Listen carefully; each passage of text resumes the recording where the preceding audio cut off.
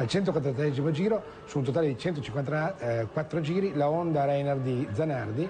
Qui siamo anche su tracciati da 400 km orari, pensate un po', all'uscita del box è stata violentemente investita da Alex Tagliani che è un, ecco vedete tra poco arriva, questo è Tagliani che becca in pieno a metà Rivediamo un attimo se la regista, ecco, se andiamo con rallenti, vedi, qui c'è Zanardi che esce, no? Sta uscendo dai box, tenete conto che lui è stato richiamato ai box per una sosta dovuta a un rifornimento errato, perché mancavano pochissimi giri alla fine, lui non doveva fermarsi, quindi probabilmente è molto nervoso, quindi in uscita dai box probabilmente ha aperto l'acceleratore con molta violenza. Teniamo conto che questi sono motori...